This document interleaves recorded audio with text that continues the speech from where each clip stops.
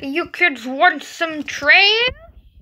I mean, uh, yeah, that's basically why we came here.